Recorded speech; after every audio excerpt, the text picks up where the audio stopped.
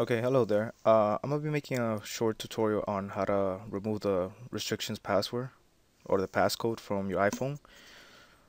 So let's say you go to settings, general, and you enabled restrictions right here. It's on. So you know, so I already failed.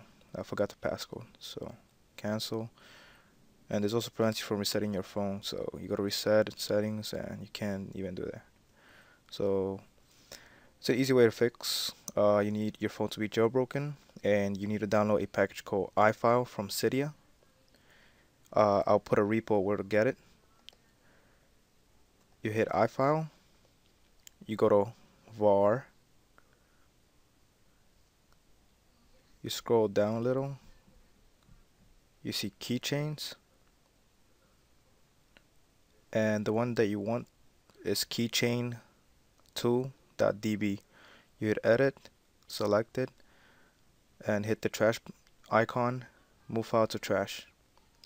Done. Hit home, and you try again. Go to settings, scroll down, restrictions, off. And that's it. Thanks for watching.